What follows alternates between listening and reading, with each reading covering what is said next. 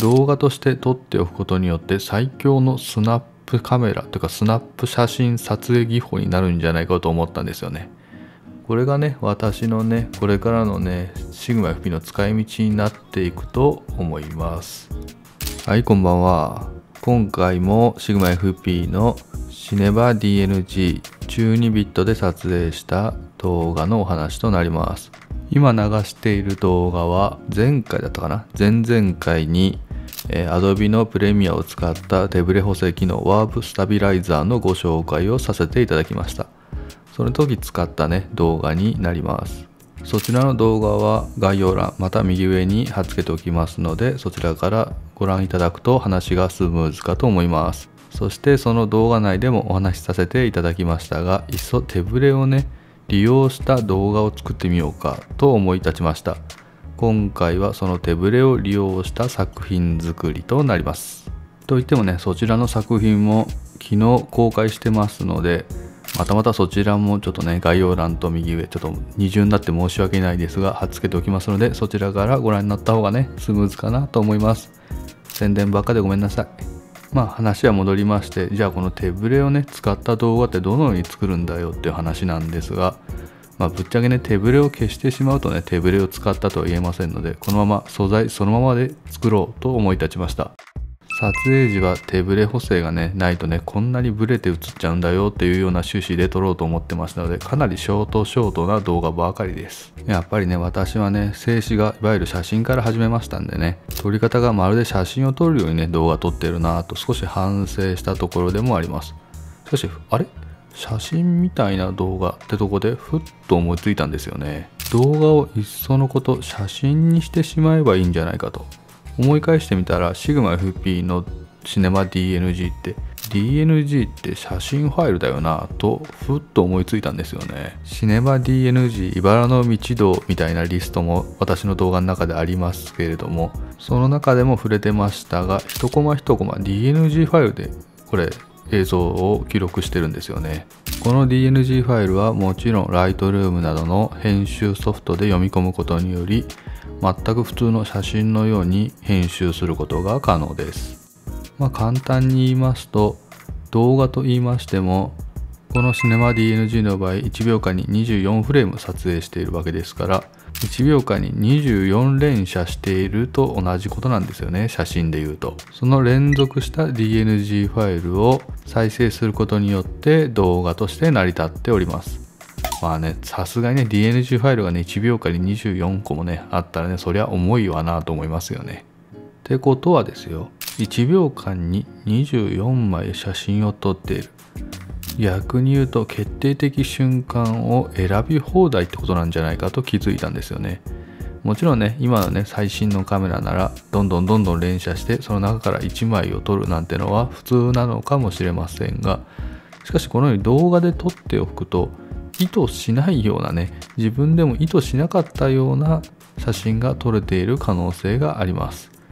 もちろんね本当にね素晴らしい写真をどんどん撮られているようなセンスのいい方なら12枚パシャパシャっとそのように撮れてしまうのかもしれませんが私のようにね全然センスのない人間は動画として撮っておくことによって最強のスナップカメラというかスナップ写真撮影技法になるんじゃないかと思ったんですよね。まあねよくね携帯とかのね CM でねババババッと何連写とかして1枚を選ぶみたいな機能ありますよね。それが SigmaFP で、しかも DNG ファイルでできちゃうんじゃないか。これ素晴らしいんじゃないかと思った次第であります。早速動画の中からね、私的に、あ、この瞬間いいなと思ったものを1枚1枚取り出して、ライトルームで現像してみました。その写真を今からパパッと流していこうと思います。ではどうぞ。動画のシネマ DNG から写真をね作ろうと思った時の欠点の一つにシャッタースピードがね固定されてしまうっていうのがありますよね。私の場合この動画を撮るにあたって、えー、60分の1秒のシャッタースピードで撮影していました。フリッカー対策というのもあったんですが動画の場合はねパラパラ漫画みたいにならないように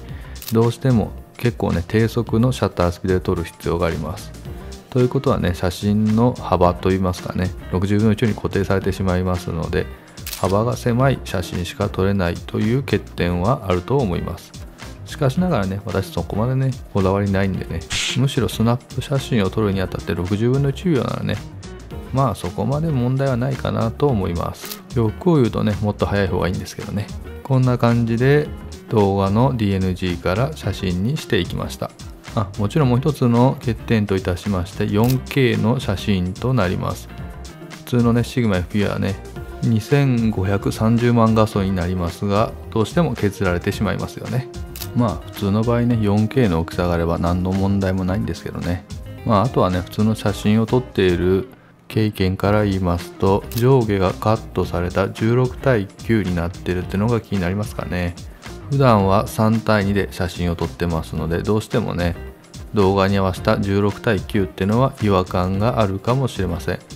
まあしかしね YouTube に載せるのは16対9っていうのはかえって都合がいいのである意味ありがたいのかもしれません。はいここまで来たら動画と写真を組み合わせてどのような作品に仕上げていくかなんですけれども私の頭の中では動画をねファインダーに見立ててパシッとシャッター音とともに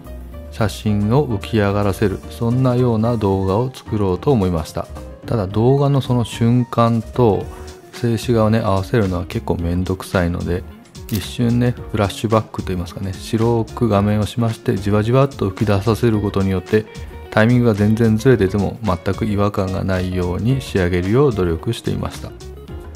では早速ですけれども仕上がった動画をご覧ください。どうぞ。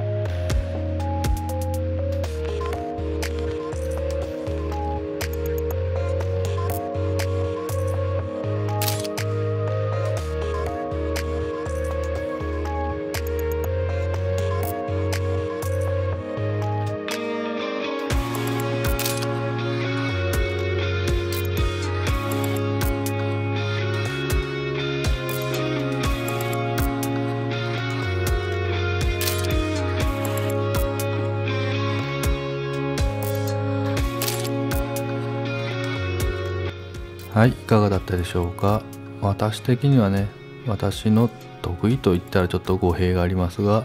今まで培ってきた写真の技術と今ねチャレンジしている動画の技術が混ざり合ってかなりいいんじゃないかなと個人的には大満足しております。なんならねもう少しね手ぶれがねひどい動画のが合うんじゃないかと思うぐらいです。あとねピントがね合ってないとこから合わせるってのもオツじゃないかなと思ったり。これね結構ね広がるんじゃないかなと私的には思っています。なんといってもね全然脈絡のない動画をつなげていっても全然作品になると思うんですよね。今回はあるね一つの街をずっと撮っていたストーリー的なものになってしまいましたが、まあ、結果論としてね。次回例えばアップする時にはたまにちょこちょこっと撮っていったのをくっつけてね一つの作品にしてもね全然面白いと思うんですよね。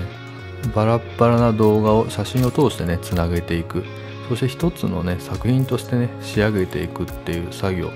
結構私に合ってるんじゃないかなと思っています。これが私のねシグマ FP の使い方なんじゃないかなこれからのと思いますよね、まあ、なんかちょっといいいいことをね